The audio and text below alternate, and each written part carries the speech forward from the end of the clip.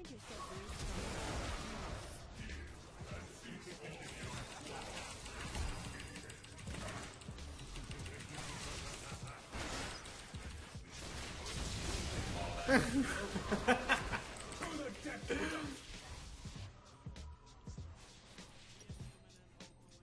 The guy insta fucking killed today. That damage though.